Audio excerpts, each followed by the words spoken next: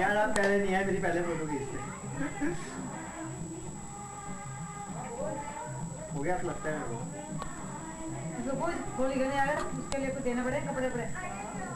वो बड़ी मुश्किल है देते हैं क्या बड़ी बात है? साड़ी नहीं है तो, तो गया? उसका दिखाओ भाई।